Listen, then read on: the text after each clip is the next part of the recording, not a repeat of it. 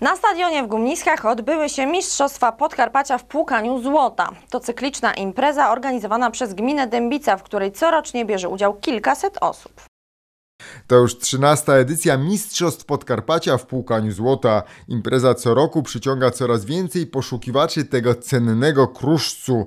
Jak głosi legenda, na terenach Gumnisk i Braciejowej podczas wydobywania rudy żelaza znajdowano także srebro i drobinki złota. W trosce o utrwalenie regionalnej historii powiat dębicki, gmina Dębica oraz Centrum Kultury i Bibliotek w Pustkowie Osiedlu co roku organizują festyn kulturalno-rekreacyjny w Gumniskach, podczas którego uczestnicy mogą wziąć udział w zawodach polegających na wypłukiwaniu złota na czas.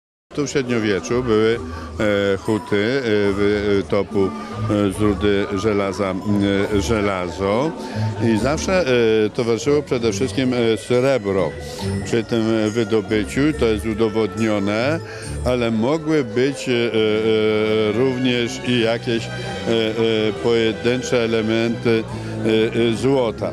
To tak sięgając po prostu do mm, historii.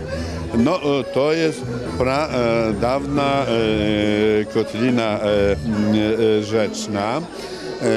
Natomiast drugi element, no to element promocji właśnie tych pięknych zresztą terenów, a blisko po prostu aglomeracji miejskiej czy komunikacyjnej i wreszcie wspólna zabawa, integracja, bo proszę zważyć, że jest to wydarzenie wojewódzkie. No i tu chciałoby się e, e, prosić władze wojewódzkie, zarówno te rządowe, jak i samorządowe, żeby swoim autorytetem wsparły tą jedyną, jedyną e, po prostu imprezę na, w naszym województwie. Myśmy pierwszy raz płukali w potoczku w Ostrej. Na odcinku 20 metrów był oczyszczony potoczek. Wchodziło się do potoczku. W potoczku były rozsypane nakrętki mosiężne i żelazne. I na czas zbierało się to. To jest wydarzenie, które tutaj w naszym terenie zagościło na dobre. E, Pogoda dzisiaj trochę nie dopisała, ale to nie pierwszy raz, kiedy pada podczas pukania złota. E, To jest po prostu promocja e, tego terenu, promocja e, tej ziemi, powiatu dębickiego, gminy Dębica. Dobra zabawa przy okazji dla całych rodzin, dla dzieci, dla młodzieży. Myślę, że warto tutaj przyjść z rodziną, spróbować to złoto znaleźć, bo ono tutaj jest faktycznie. Nie są to oczywiście ilości, które później można wykorzystać albo gdzieś zainwestować, ale przyjemnie w domu można później mieć taką fiolkę z kawałkami złota. Także myślę, że na pewno, na pewno warto i bardzo gratuluję i dziękuję panu wójtowi Stanisławowi Rokoszowi, że taki pomysł miał. Ten pomysł e, realizuje. E, Co roku, niezależnie od pogody, od przeciwności. Świetna, świetna koncepcja. Rywalizacja podczas tegorocznych mistrzostw odbywała się w czterech kategoriach: samorządów, organizacji pozarządowych, rodzin oraz w kategorii Open kobiet i mężczyzn. Nad przebiegiem zmagań czuwali sędziowie z Bractwa Kopaczy Złota w Złotoryi. 13 Mistrzostwa Podkarpacia w płukaniu złota uważam za otwarte.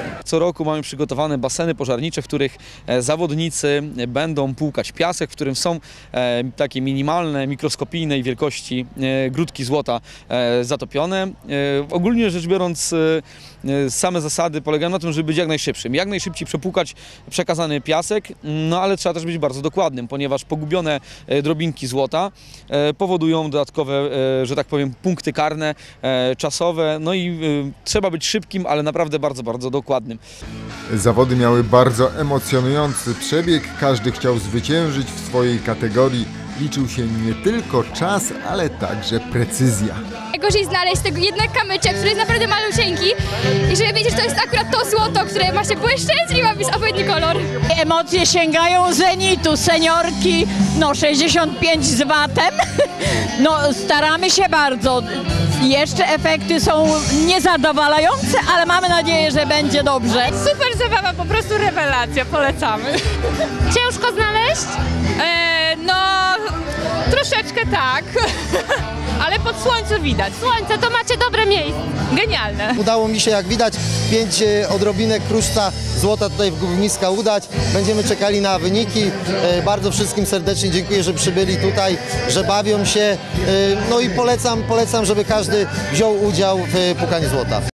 W zawodach w kategorii Złoty Powiat wystartowała trzyosobowa reprezentacja powiatu dębickiego, która wywalczyła drugie miejsce, przekazując tym samym trofeum zdobyte w ubiegłym roku, czyli złotą buławę, pracownikom Starostwa Powiatowego w Jarosławiu. Organizatorzy przygotowali też liczne atrakcje dla dzieci, które mogły m.in. pojeździć na kucykach lub przejechać się dorożką, a także pobawić się na dmuchanych zjeżdżalniach. Podczas tegorocznych Mistrzostw Podkarpacia w płukaniu złota przeprowadzona została również aukcja charytatywna na rzecz dzieci niepełnosprawnych. Impreza pomimo niesprzyjającej aury była okazją nie tylko do zdrowej rywalizacji, ale także do doskonałej zabawy na świeżym powietrzu w gronie rodziny, przyjaciół i znajomych. Niektórzy już nie mogą doczekać się kolejnych Mistrzostw Podkarpacia w płukaniu złota za rok.